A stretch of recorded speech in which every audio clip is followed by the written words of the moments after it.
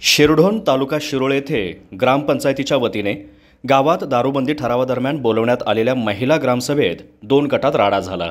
या ठरावाच्या विरोधात तसेच समर्थनार्थ असे दोन गट तयार झाल्याने वादावादीतून धक्काबुक्की करत हाणामारीचा प्रकार घडला आहे.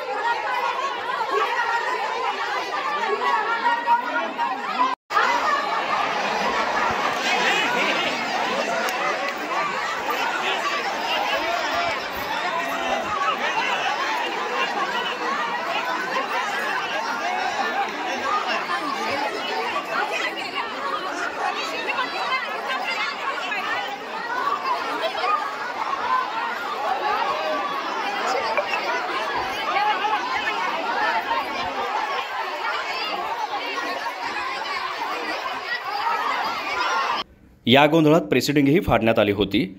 त्यामुळे तणावाचे वातावरण निर्माण झाले. हा गोंधळ सुरू असताना दारूबंदीचा ठराव कायम करण्याच्या बाजूने ठराव करण्यात आला.